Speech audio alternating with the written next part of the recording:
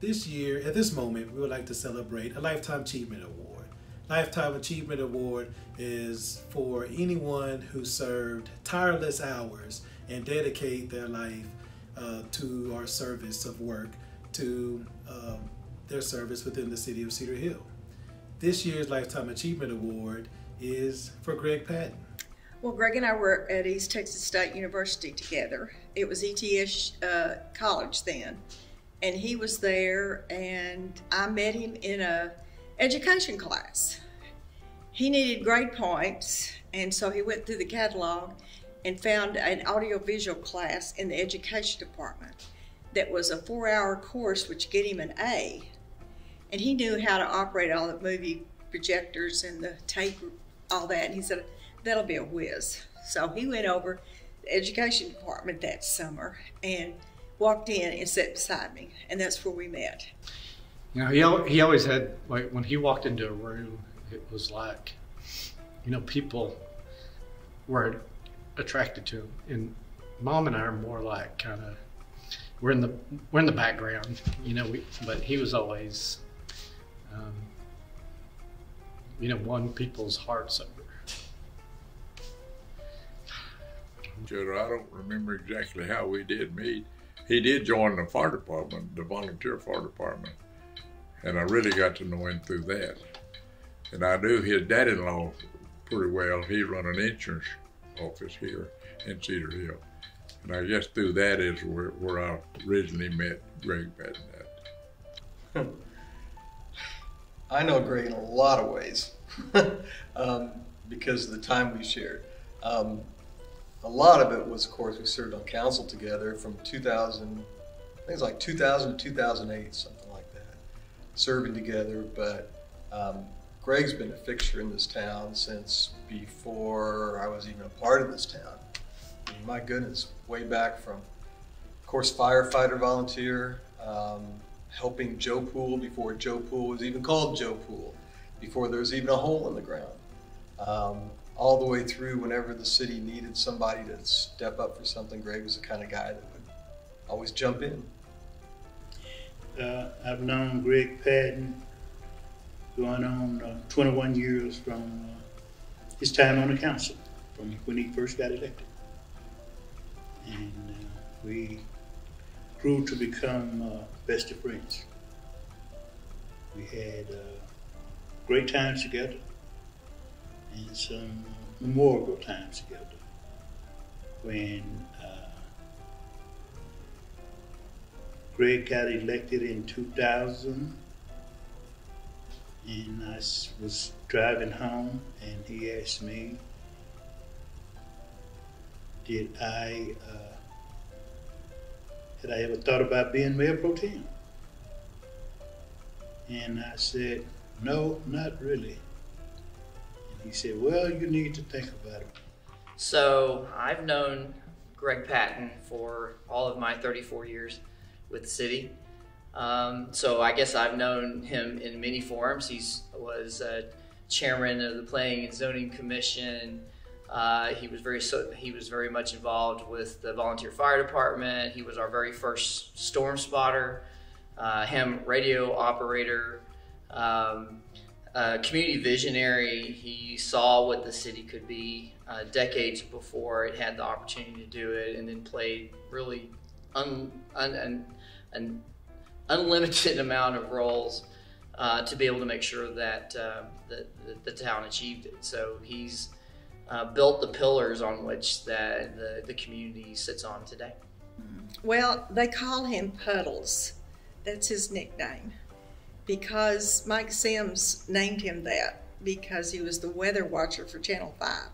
For about 20 years, he did that. So he was always the one they call at Channel 5. We talked to weather watcher Greg Patton today, and so that's what they call him is Puddles. People have known him a long time.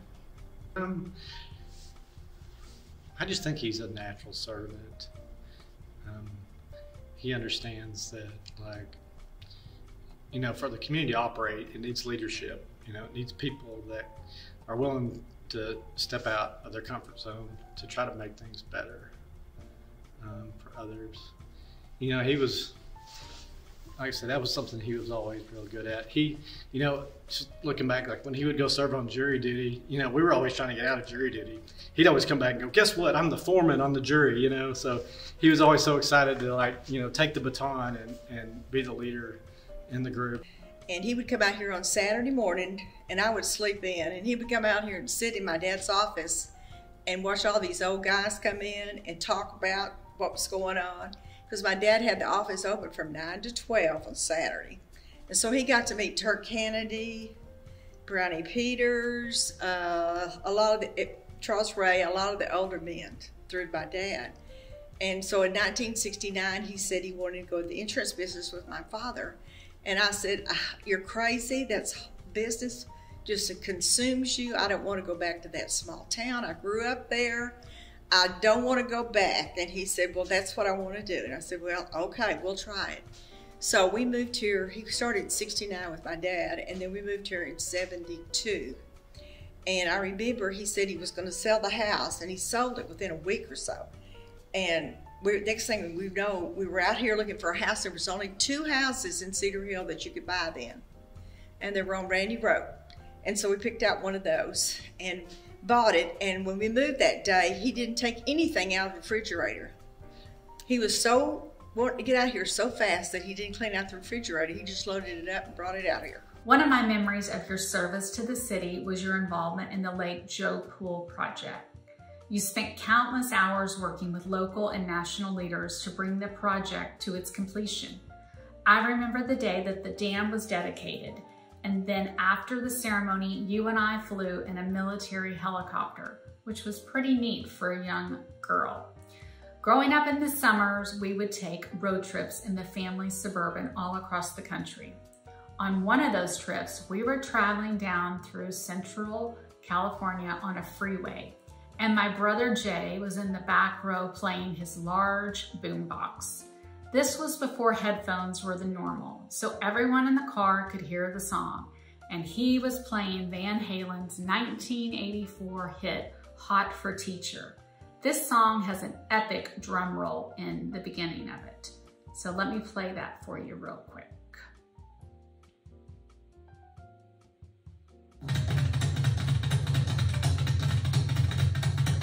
My dad had no idea what that was. He thought that he had blown out a tire on the back right. So we quickly pulled over and when he realized what it was, we were all laughing. Again, we continued on our road trip and not long after that, my dad's Samsonite suitcase that he tied on the top of the Suburban flew off and landed in the median of the freeway. His clothes went everywhere.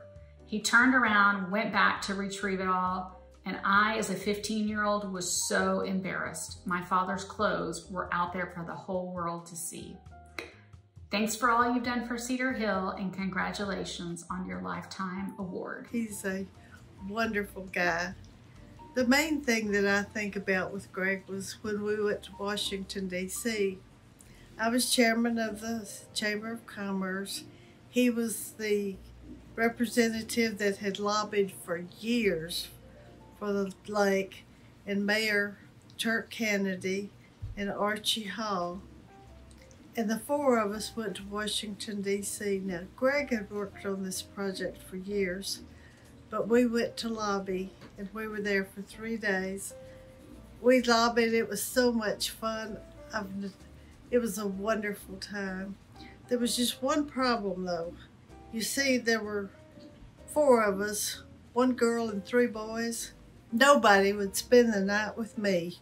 Um, I'd characterize Greg as the kind of guy that steps up and leans in when others are willing to step back and move away. Um, so he can have a really strong personality, but he's fun. Greg's always optimistic, laughs, always finds something funny in even the most serious of situations. He just he's just a good all around person. And he likes to help people. Uh, I would describe Greg character as a man of uh, integrity, a good man. He believes in what he believes in, and uh, he has a lot of character. He's he's a he's a man that you would like to have as a friend? If he said he got your back, he has your back. Oh, Greg is uh, first and foremost warm uh, and genuine uh, and fun. He is just a fun guy to be around. Um, he loves people.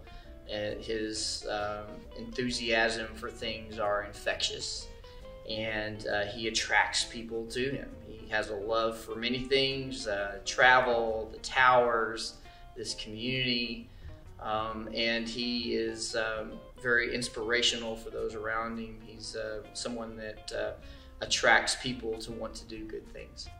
When he was growing up, he was called Mr. Rhythm on the Skins because he was a drummer.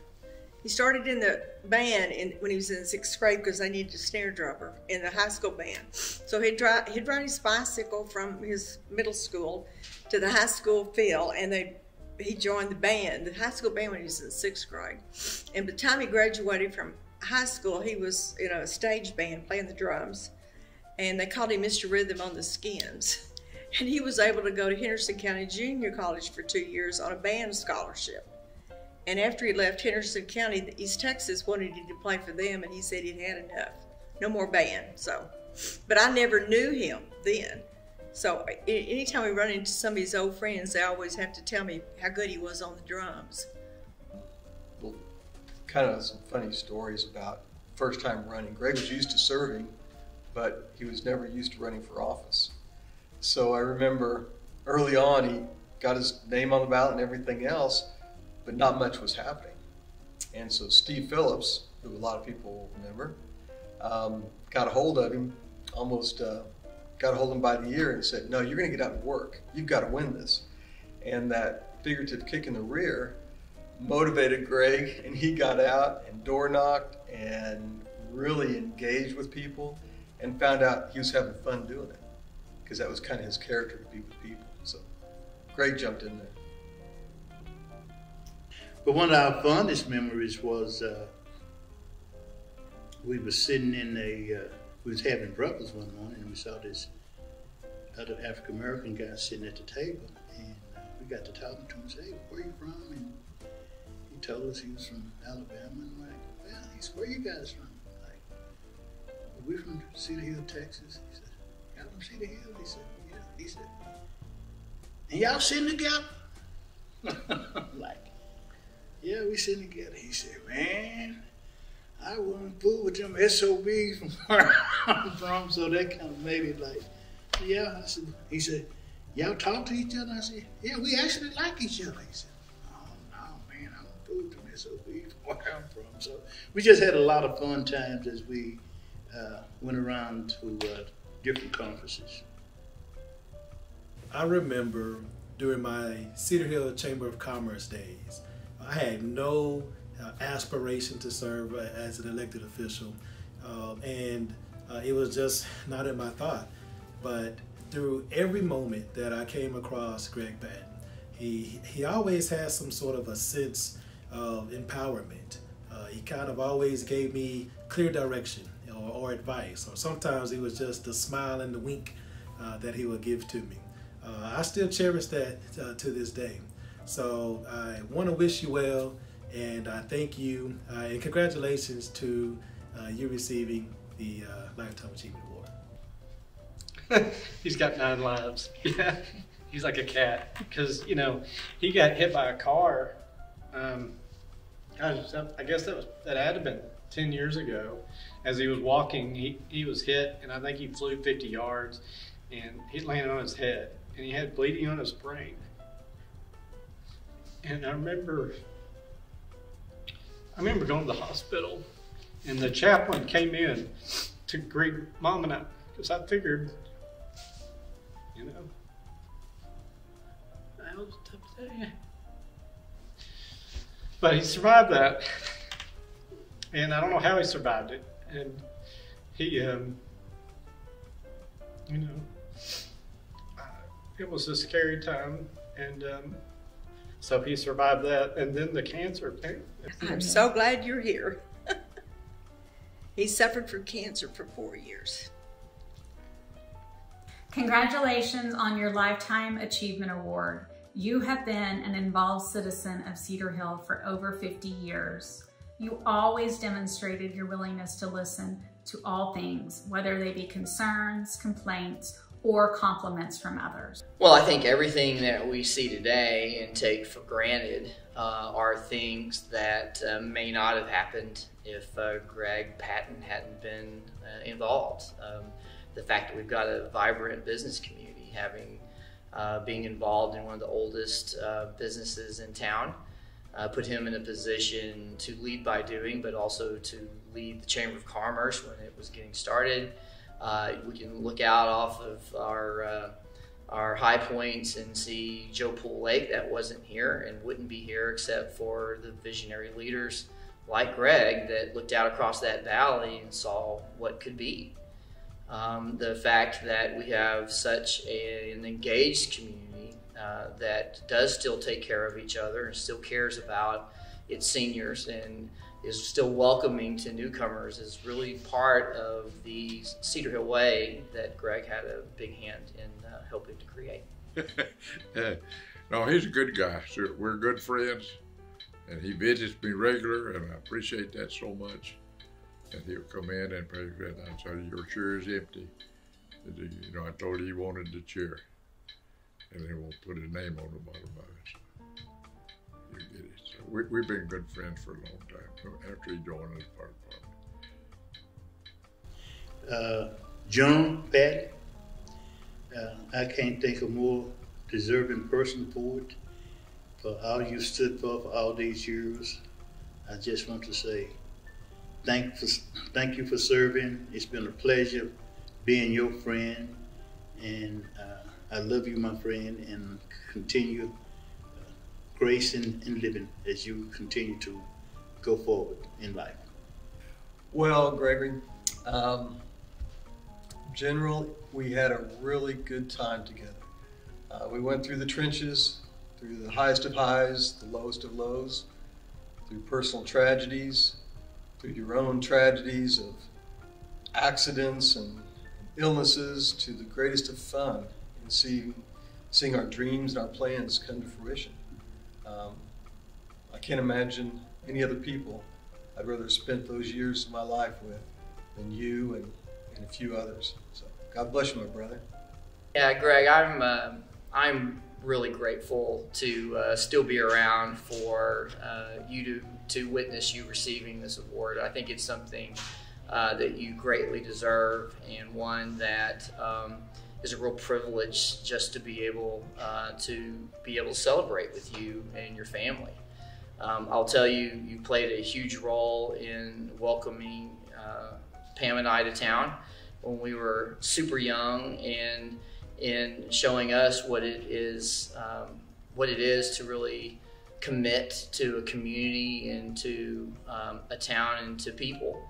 And uh, our lives have been made better by your work and by your efforts and by your example. And uh, thousands of others have as well. And I just want to thank you and and Linda and your whole family for the the many contributions that you've made to making Cedar Hill the place that we all love today. So many years, so many memories.